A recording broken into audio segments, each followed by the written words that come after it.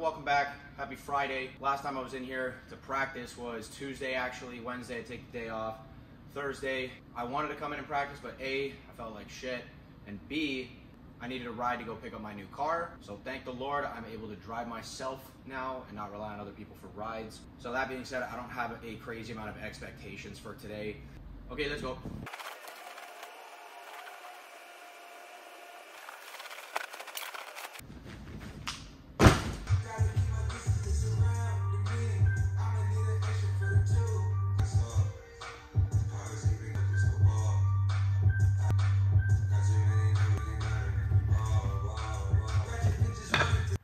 Exercise, I know I've talked about it before, where it's like an eccentric internal rotation, but on the way up, I usually lift, uh, so I can just feel a stretch on the way down and not worry about contracting and hurting myself.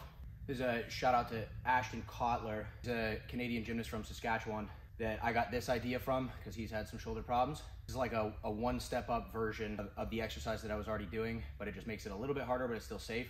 So you go nice and slow on the way down, feel the stretch, and then slowly lift it up to about halfway, and then quickly go up. Same thing, slow on the way down,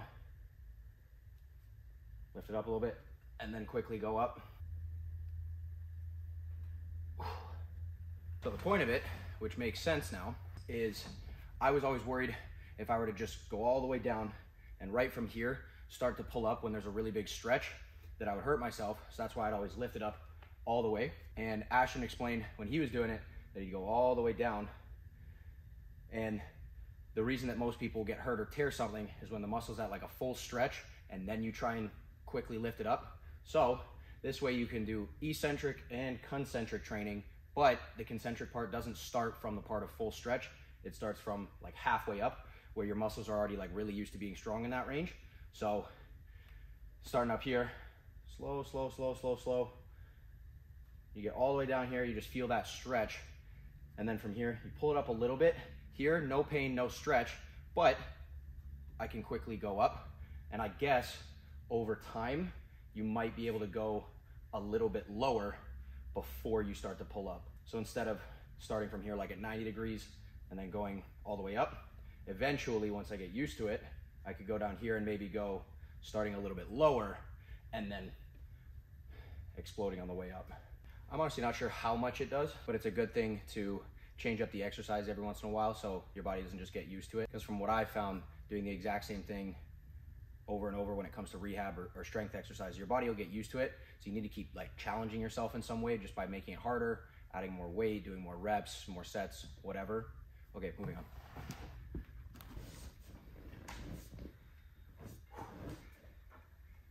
Ooh.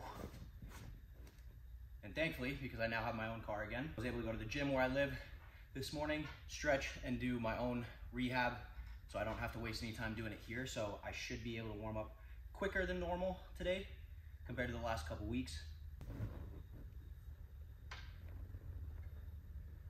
And for L grip hang, I've been trying to do it a little bit more consistently. And as long as I ease into it slow and I don't just try and hang with full body weight right away, kind of have to wait to let my shoulders relax and then I can do basically full weight. Don't know if my shoulders are even yet, but I think it feels a little better.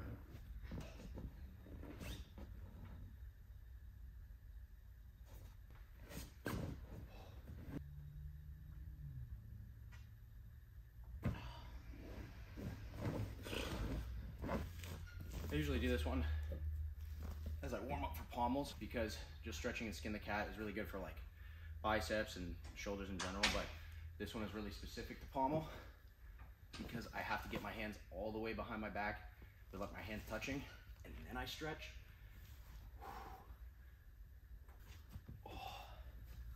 Oh. Ooh, my elbows. Oh.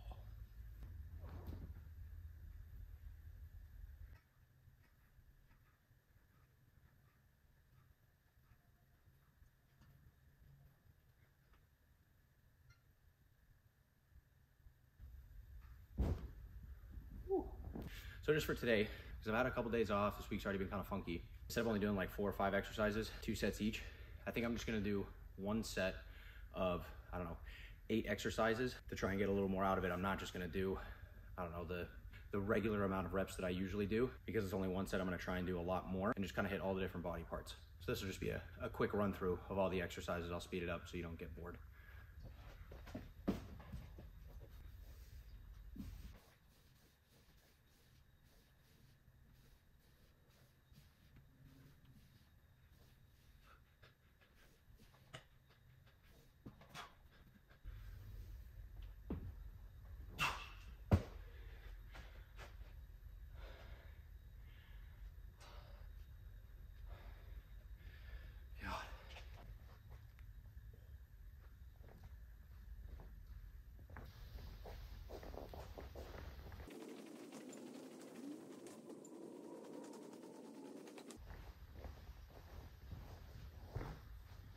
Butterflies on P-bars, even when I do two sets or three sets or whatever, I usually go pretty close to failure, if not to failure.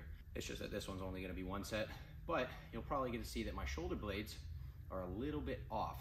And whenever I start an upper arm, I usually try and like reset my shoulders and, and pull them back so they're as even as they can be, or at least so they feel even.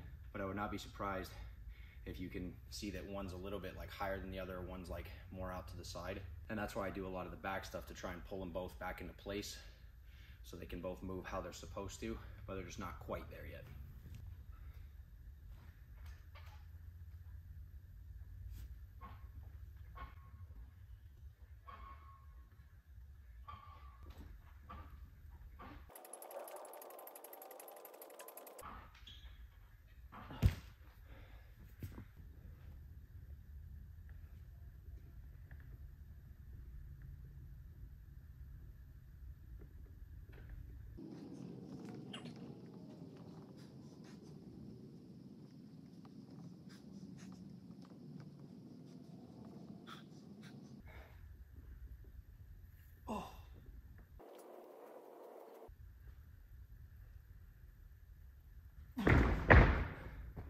Was definitely more pretty, but that's my first time doing five presses or half presses, whatever you want to call them with the ankle weights.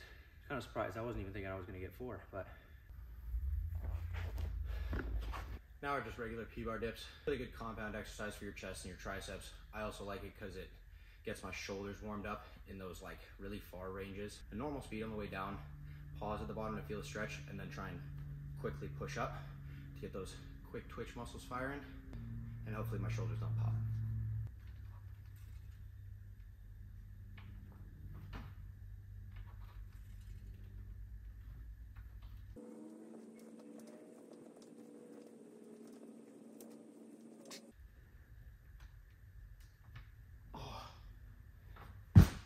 Two quick core exercises, then tumble track.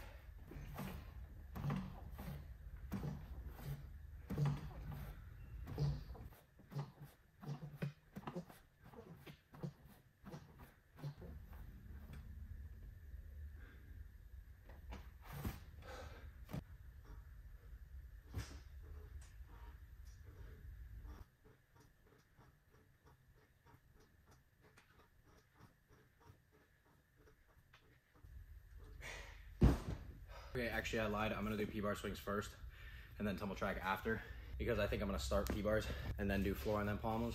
I don't wanna do tumble track and then P-bars and then go right into P-bars. I like going back and forth. Probably doesn't actually make a difference, but I think just the idea that it might give me a little bit of rest after doing P-bars, I can go to tumble track and then back to P-bars and then back to floor instead of tumble track, P-bar swings, lots of P-bars, and then back to floor. Bust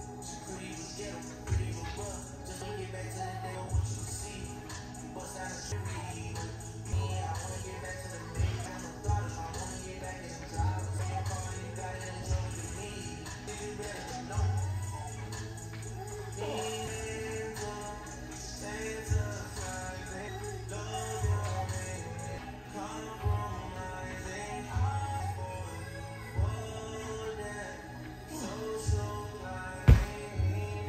Two days. That's all it takes. And I feel like I'm relearning everything again. Holy shit.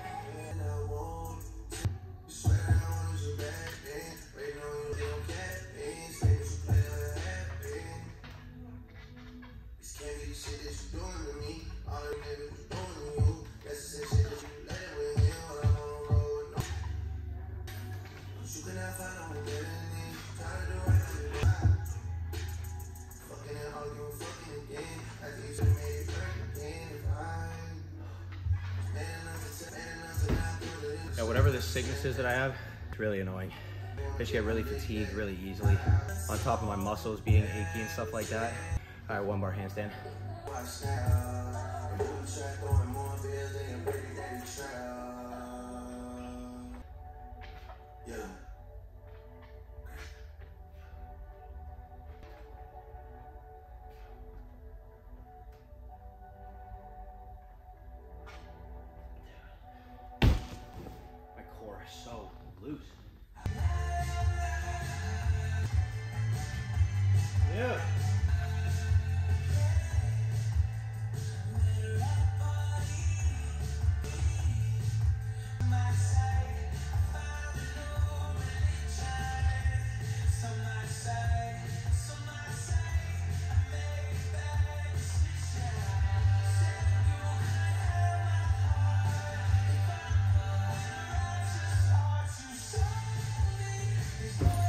I need to spend more time on that. I don't work on it enough.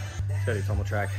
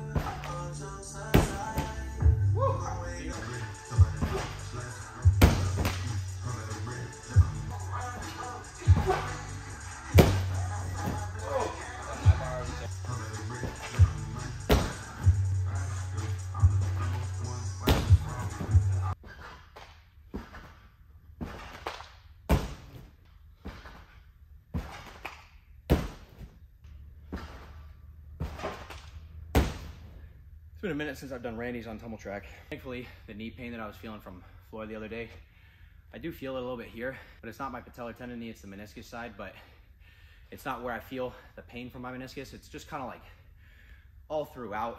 If you saw the last video, you heard me talk about that and stuff, but definitely won't be doing real floor today. I'm just gonna stick to rod.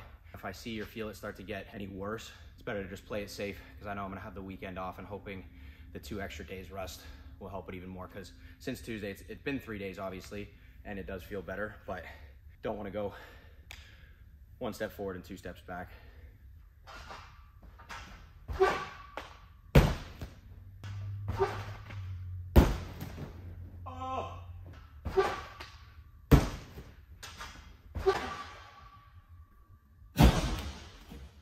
The only time I don't want to be like one of the best floor guys in the world is when I'm doing a back double full on floor. If you pay attention to world championships, Olympics, the top guys in the world, if they ever do a back double full side pass, it's not every single time, but I'm gonna say the majority of the time, they don't stick it, and it's so annoying. A beautiful double full, and it's always every single time. Not every single time, like I said, but it happens more often than not. And then you'll see them stick a layout double double or a full double pike. Some of these crazy passes, and then they slow down, do that stupid double full side pass at the high level, and they take a hop. So dumb.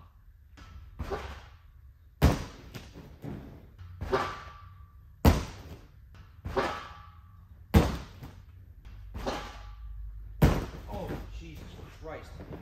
That was a really good set.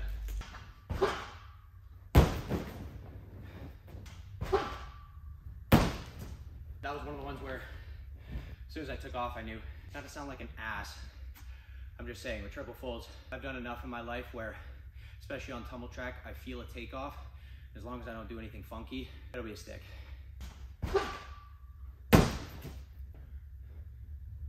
Yeah, after about the 30 minutes of tumble track I just did, my left knee feels fine, feels normal. My right knee doesn't feel any worse. Like I said, it's just the soreness all around, I guess, which I'm glad it's not specifically my patellar tendon or my meniscus. I guess I just gotta be careful in the future, not hitting the dead spot and always staying tight for every single punch. And theoretically, I'll be good to go. Okay, like always, took longer to warm up than I thought, but we are finally here and ready to do P-bars. I'm determined to make it a good support day because I haven't had that in a while. The current plan, if everything happens the way I want it to, I'm going to make three of my Diom and a quarter Stutz Diom sequences. I'm gonna make a few turns of Healys, whether they're by themselves or in sets of two. I'll see how I feel when I get there just because I haven't done them in a while and it's kind of a confidence thing. And then I would like to do free hips, just get through a couple of them, do some Hanmas, kind of just touch everything except for dismount, just because I don't, I'm not really worried about it. And just to take a little bit extra stress off my knee. I'll see where I'm at after that. And then I actually kind of want to play with some Stutz one bars or some Peters because I haven't done those in, I don't know, like three years or something. And that would be a nice D support skill. Only ever caught, I think, one, and I didn't even like turn back into the middle just because it was kind of tricky, but I think it'd be a good skill to go back to now. So yeah, let's get to it.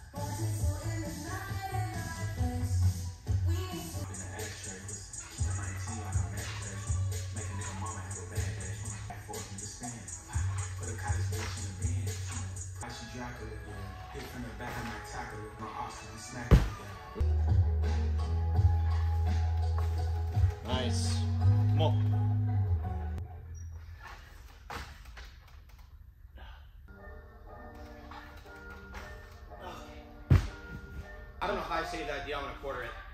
Draw back right away. But I can tell because the Diom does the same thing.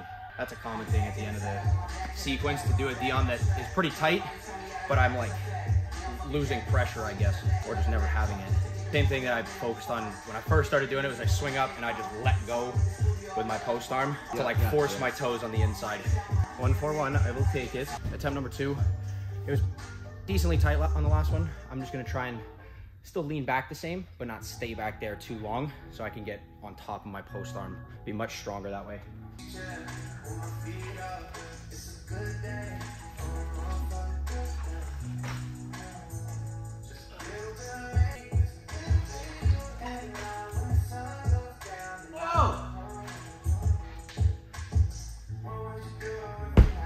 Swung down for that Stutz at a million miles an hour, but made the correction on the Diom. Two for two.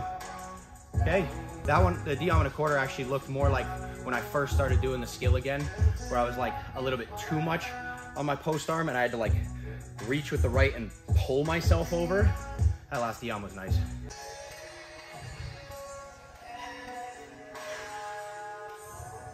For me. So ideally that Diom and a quarter on the next one will be right in between the first one and the second one. The first one was on the inside, but it leaned back too much and I felt a little too heavy onto that right arm. And then this one, I felt like I was reaching to like pull myself to my right arm. Just gotta find that sweet spot.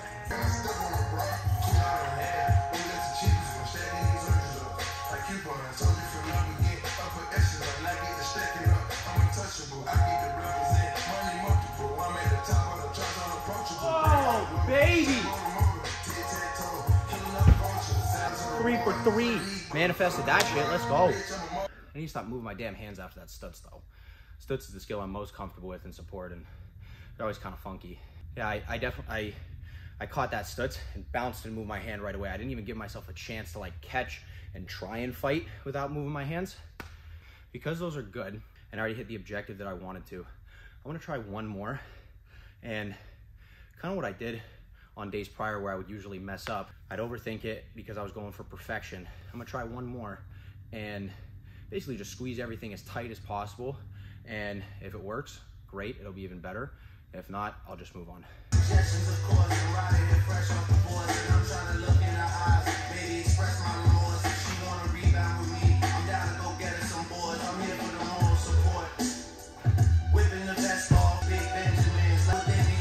Boom! 4 4, first of all, W. Second of all, I think that is my first time doing this whole sequence without moving my hands. The only part I didn't like about it was the Diom. I did lean back and it helped me stay more open. I just did what I did last couple sessions where I leaned back and then pushed back too late, so I caught a little bit over. The nice part is the way that I'm thinking about constructing the routine is I think after Diam, I'm gonna go and do a Harada or a dismount. So I'll be falling into a front uprise kinda, and I feel a lot more comfortable being a little bit out of control from a handstand and going into a front uprise than another support skill and still being able to make it work. Might not be as good as if I were to start in a solid handstand to do a Harada or a dismount, but it's a lot more manageable for me personally. Okay, moving on Healys, let's go.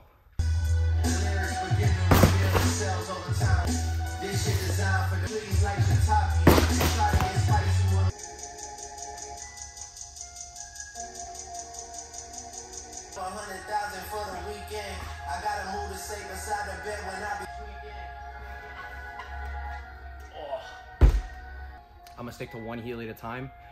And if I make it, I'm gonna just try and keep going and see where we get. No expectations, I'm just gonna play around, okay? That way I'm not gonna get upset if I don't do it.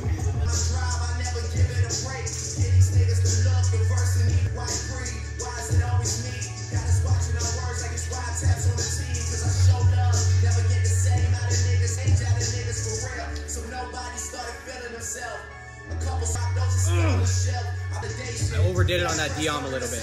Shit! Alright, I already made the sequence once. Basically just gonna go for perfection. Tighten up, really try and not move the hands right away. Fight a little bit more in the handstand before I have to take that step. A couple more tries.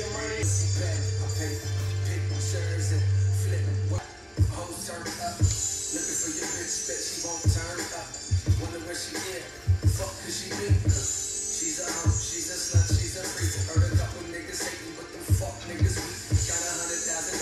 probably a good thing I didn't make that three quarter D on the one bar.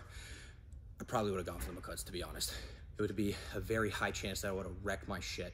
I'm almost at four minutes going off on the beat. Feel like I'm in the Malibu. And you gotta love it. Yeah. And on top of that, it's getting harder to eat.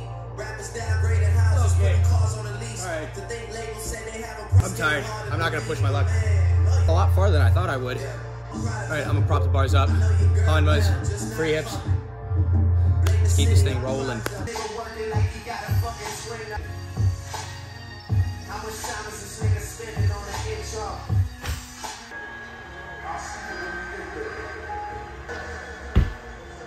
You know what, F it. I'm gonna keep this sequence thing rolling and just kind of see where I get. Feel good today. Caffeine helps. And a couple days off, even though I'm tired. But I'm gonna try and warm up, make a drop cast, then I'm gonna go to free hips, and then if and when I make a free hip and turn in, I'm just gonna drop down and do drop cast and Hanma. See if I can link them together. Be another first in, I don't know, three years, I guess. I've never competed free hip before, I only trained it, so. I set my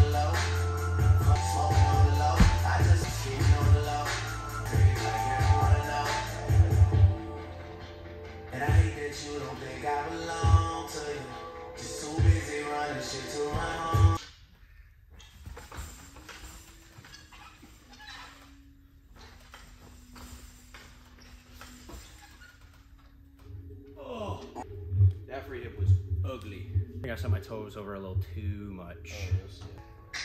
Oh.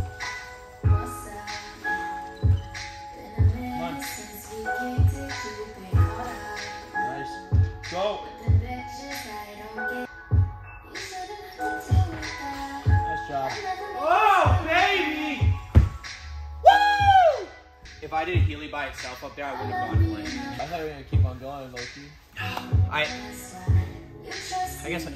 same thing, it would have been better to just keep going instead of hopping up there and starting with like a Healy or a Diam or whatever. Oh, I didn't need to pike when I caught. Got ahead of myself and as soon as I started pushing, I arched. stay hollow and direct the toes over and just hope I can turn in quick enough. Overthinking too much. I'm thinking about the whole sequence now. Just a free hip first, and then we'll go from there.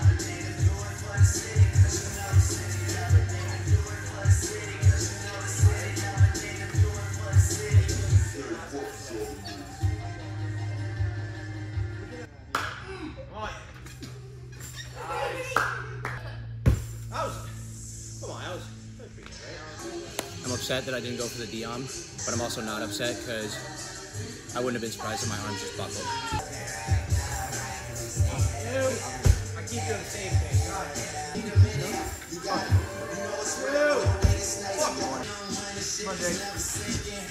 Yeah, dude. Hell yeah, dude. Sick. There you go. Hey, at least you made it.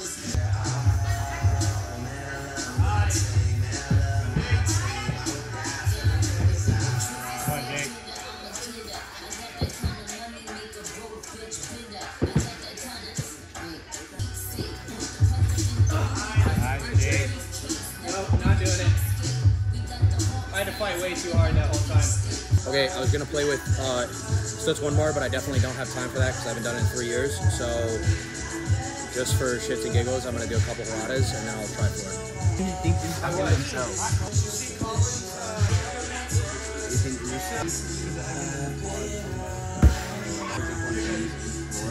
I need to do one from handstand first. Oh my god, my rotator cuffs.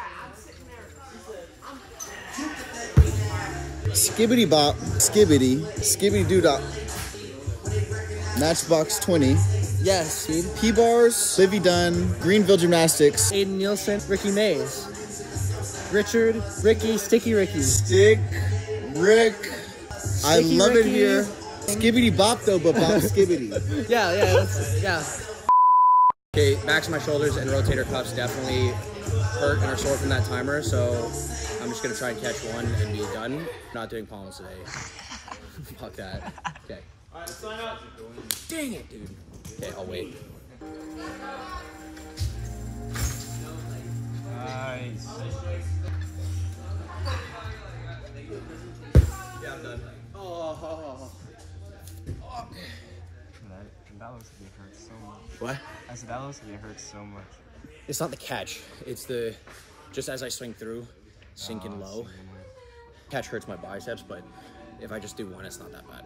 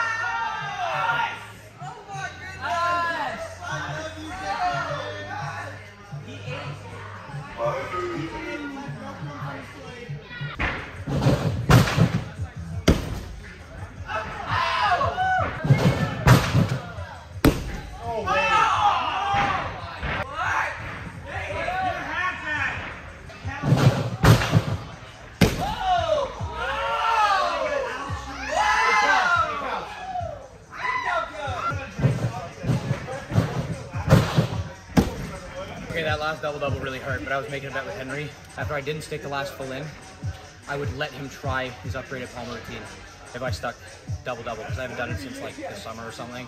Kind of crunched my ankles, but I'm moving on to forward stuff. Okay, I'm gonna try and stick three lay punch double pulls real quick, and then do lay double tucks and a few lay double pikes, and then I am finito.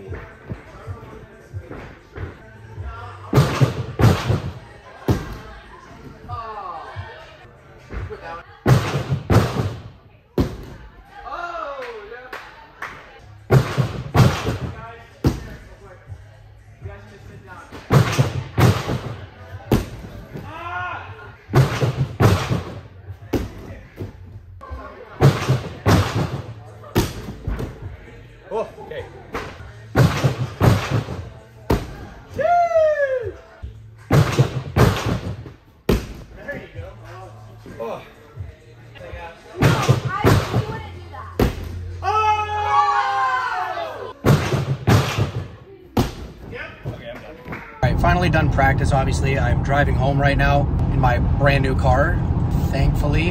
But I didn't get to film this after I was finished up events because the college practice started and I just got really busy, so I didn't really have time. But even though today I only did rod floor and then just a long P-bar session, I was actually really happy with how P-bars went. I was hoping like best case scenario that the support skills were gonna go well. I wasn't expecting them to go that well considering how I was feeling when I was starting. But I guess it was just one of those days where everything was kind of clicking and, and just working for me, which was nice. On another positive note, it's nothing crazy or anything, but I have been getting uh, a lot more subscribers lately. So if you're new here, thanks for subscribing and welcome. Hope y'all are enjoying the videos. And there's been a handful of people that have been asking questions in the comments and stuff. I personally love that stuff because I will talk about gymnastics basically any time of day and we'll get carried away talking about it. So if you're watching and you got a question about anything, drop a comment and I will be sure to respond. Like always, thank you for watching. If you made it this far in the video, comment new car because new car and I will catch you guys next week hopefully when I'm a little bit less sick and can train more events. Peace.